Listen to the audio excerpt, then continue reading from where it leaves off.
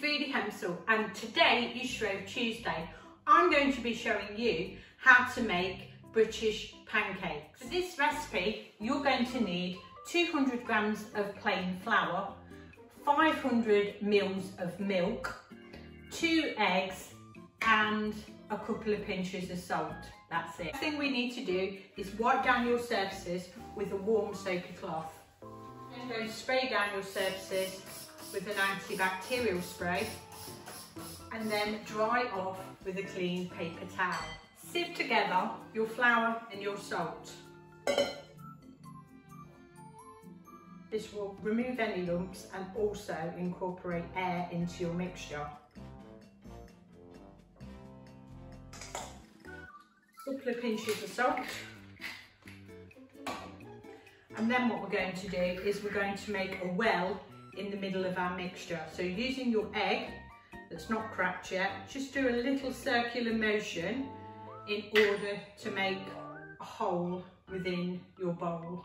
Crack your eggs one at a time into the well of your flour.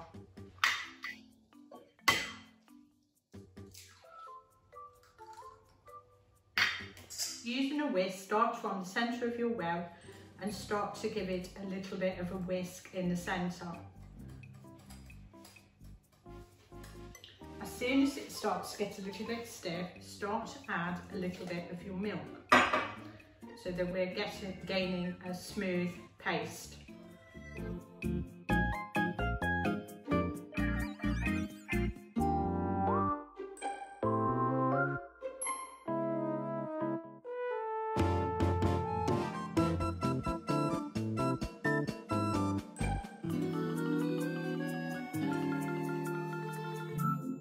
Want a thicker pancake, you'll need to go to my Foodie Hemsill channel and you'll be able to look up an American pancake mix, which is a lot thicker. It does say for vegans or vegetarians, however, if you swap the three teaspoons of replacement powder, egg replacement powder, you can easily swap it for three large eggs. So you can see I've added all of my milk now there's lots of air in there. And what I find easier to do now is to pour this back into my measuring jug, ready for making my pancakes.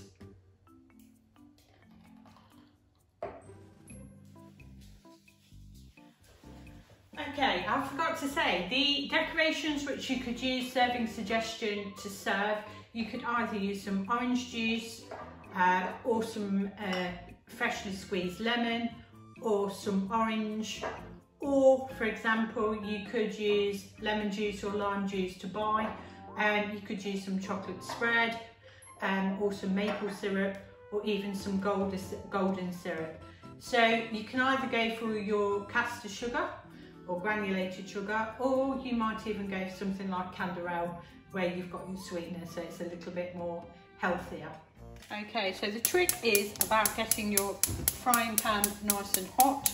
You'll need a fish slice and a palette knife and a plate ready to put these pancakes onto. So I've got my temperature on full flame.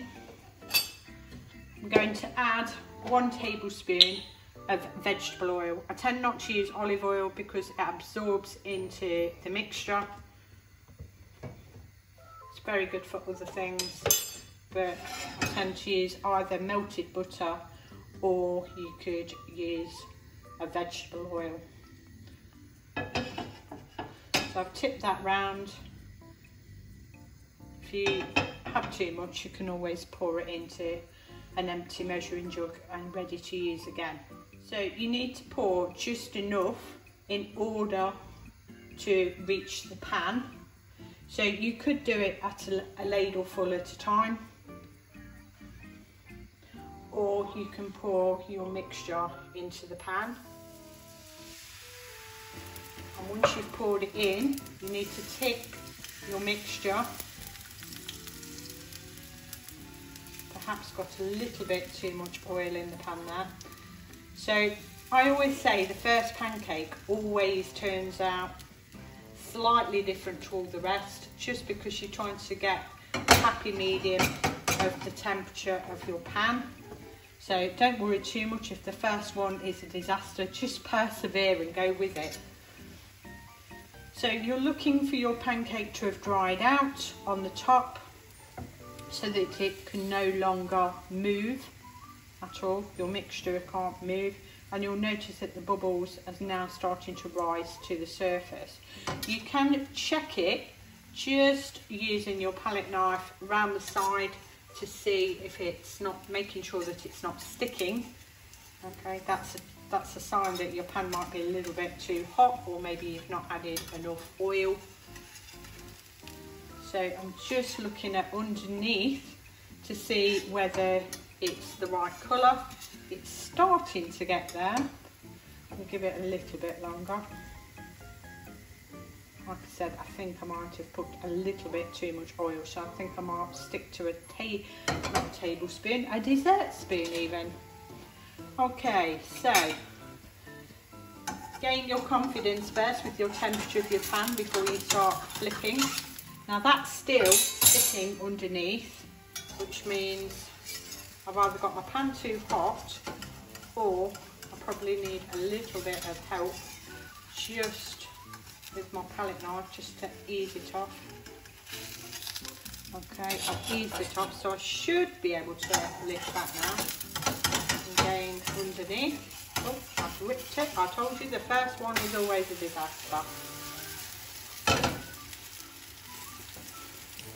Okay, not quite a disaster bit a of one. Okay, it's still edible, that's the main thing. So don't forget to subscribe to my channel, please.